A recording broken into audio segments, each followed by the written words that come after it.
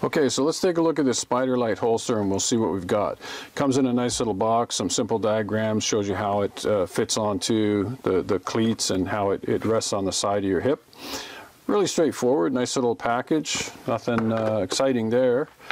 There's also a sticker inside which uh, is just an enticement to get you to register your product.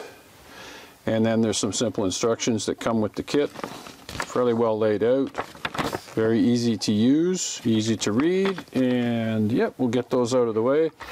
And the kit itself basically consists of three pieces. Okay, so it's the cleat that fits onto the camera, and the piece that fits onto your belt has a little locking mechanism here and an Allen key to make some adjustments if you need it. So I'm going to mount it on my Sony a6000 and uh, just move this up here so you can see it.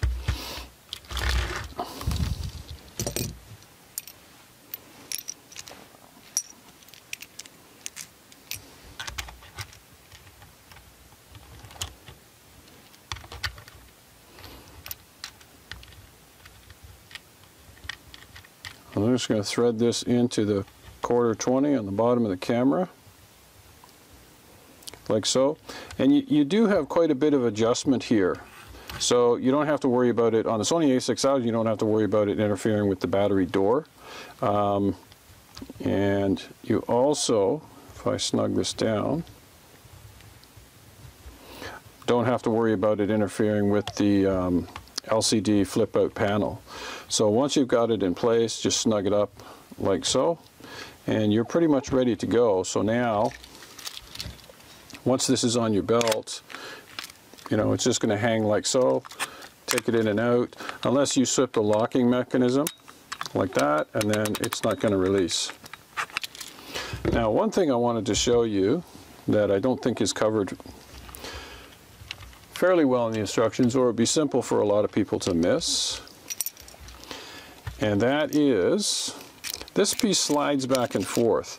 And if you take a really close look, right here you'll see some threads in the hole. So if you want to take this piece out and turn it around because you're finding that yours is interfering with the battery door the way to do that is to just bring this to this end.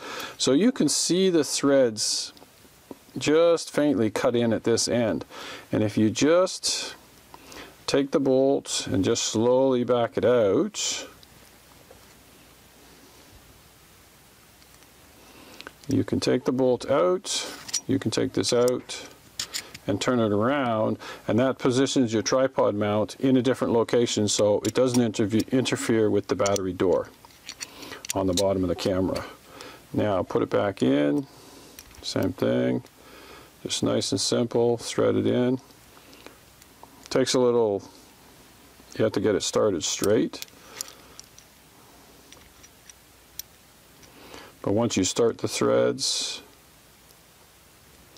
it should go in without having to force it. If you're forcing it, then you're going to strip the threads and you're, you need to back it out and start again. And then once it's in, it's, it's all loose like so. So let's put it back on the camera one more time.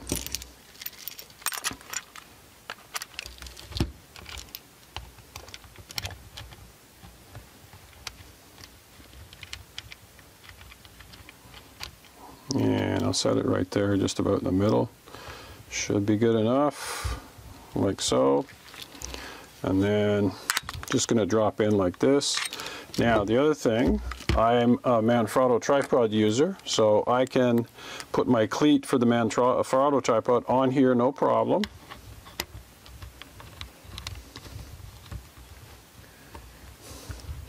And even in that configuration, I'm still not interfering with the battery door on the A6000 anyway. I might have to move it a little bit one way or the other for um, my D3300, but I haven't had any issues so far, and also haven't had to use the Allen key. Nothing has come loose on me.